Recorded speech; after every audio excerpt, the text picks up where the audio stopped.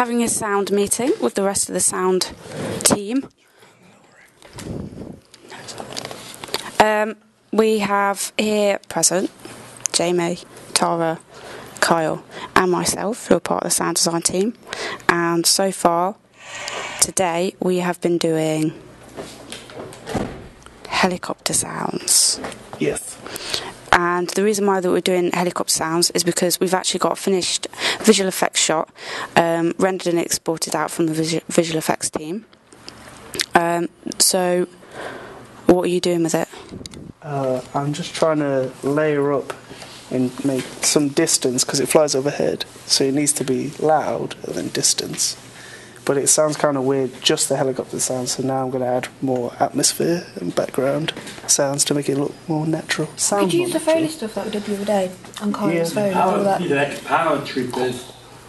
Never That'd be- the power troopers. I don't think there's any explosions, but Yeah. unless it's just like a distant one you can't see. Yeah. Beautiful. Deal. What's our plans for future sounds and what are we doing? Because I know that we've got an explosion coming to us. Um, again from the visual effects team. So we So, fairly did some explosions with them dumbbells falling, didn't Yeah, we? they sounded Yeah. quite good. so what have you done? What did you do? We've got some um, Foley recorded of a two kilogram dumbbell dropping in slow motion, but it sounds like a, a distant bomb being dropped, Okay. um, which is quite good. Yeah. And then obviously we've got the Gatling gun sound, so we need like um, bullet shells dropping, which we've got some empty canisters we're going to drop. So we've got empty canisters, like empty shell casings of our own, but we can also go onto freesound.org and source some of our sounds from there. Um, yeah, I suppose that's it for today. Got some chains and things, some glass breaking for high frequency, so to make the sound effect sound closer.